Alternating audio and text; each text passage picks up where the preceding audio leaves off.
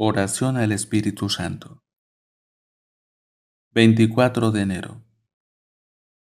En el nombre del Padre y del Hijo y del Espíritu Santo. Amén.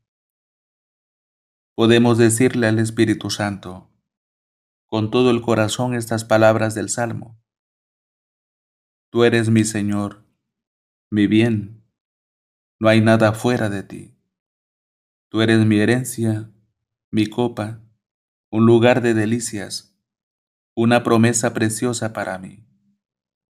Por eso se me alegra el corazón, retosan mis entrañas y hasta mi carne descansa serena. Me enseñarás el sendero de la vida, me hartarás de alegría ante ti, lleno de alegría en tu presencia. Que así sea. Ven Espíritu Santo, llena los corazones de tus fieles y enciende en ellos el fuego de tu amor.